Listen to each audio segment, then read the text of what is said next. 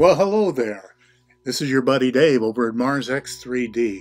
And you know, my colleagues Martine Graney and Neville Thompson have found compelling evidence of plant life on Mars.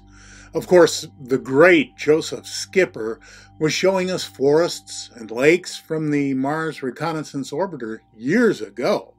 But it's always fun to find new stuff.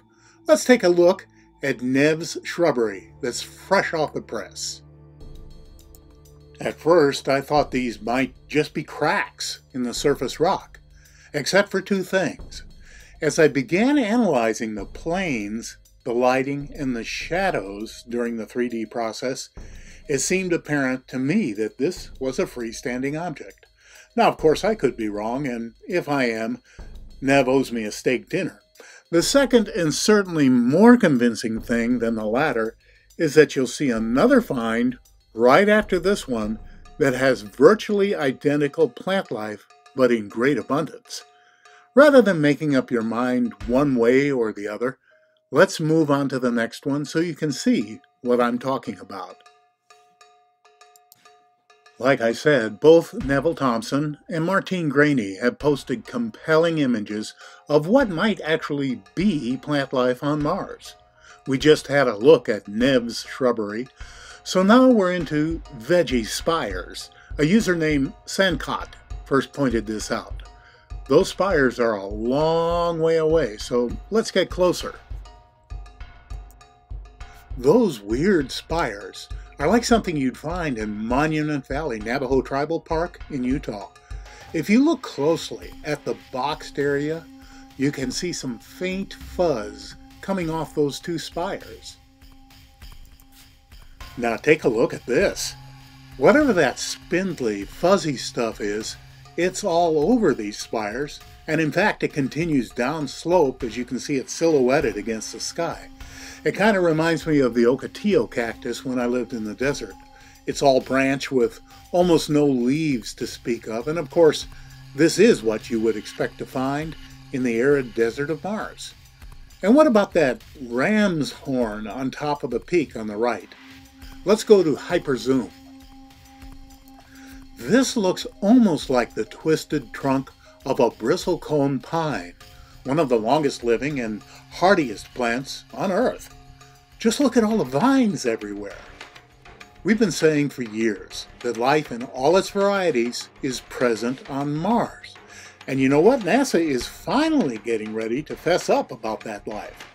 Of course, they'll start with microbes, more than likely. I mean, no sense in admitting anything about the plant, insect, animal, and humanoid life just yet.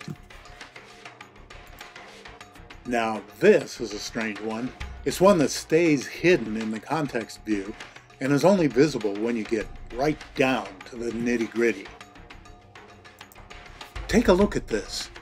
Four evenly spaced rectangular lights in the shadow of that overhanging rock. They look like windows, don't they? As if a small craft of some kind was tucked away in a safe place. Or maybe they're reflections. But think about that for a moment. The angle of the sunlight is right, but what would reflect the sunlight that brightly and that evenly? Gold tinted windows, or maybe polished gold? This one's a puzzler. And before we leave, Look at the large, curved stone just in back of it. That looks like a badly eroded pillar to me, but it could also be just a rock. Let's move on. Let's wrap things up with this one that requires a close look before it becomes visible. There are any number of suspicious looking rocks in this view, but let's focus on the target area for now.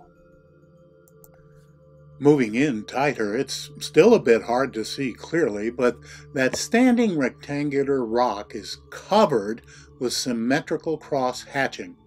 My colleague Joe White over at Art Alien TV has suggested that this might be rebar in cement, which could be entirely likely given the many examples of rebar we find on the Martian surface. Let's move in closer. In this view, I've knocked back the contrast a bit to bring out the detail. Occasionally, we'll get photographic artifacts that look like this in the various low-res JPEGs NASA gives us. But this is a PDS and it's straight out of the analyst's notebook, carefully rendered by Neville Thompson. What are we to make of this? That pattern sure looks even and purposeful, doesn't it? Whether it's rebar, as Joe White suggests, or something else, it's clear that this didn't occur naturally. Hey, thanks for stopping by and having a look today. There is a whole lot more to come. If you liked what you saw, please consider subscribing. And in the meantime, this is your buddy Dave over at Mars X3D. Be well.